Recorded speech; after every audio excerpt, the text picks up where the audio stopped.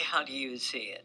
Well, I, I hope we see massive uh, reforms, but the notion of reforming Fannie Mae and Freddie Mac is the congressional equivalent of the check is in the mail. We hear it all the time, but it hasn't happened.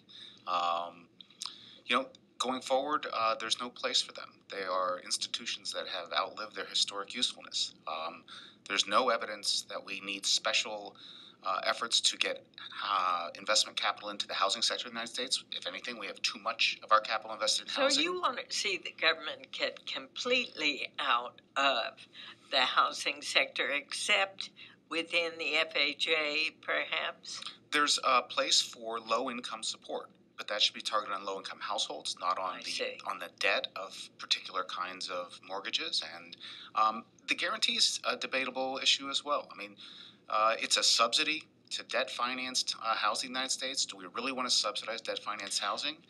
I don't think so.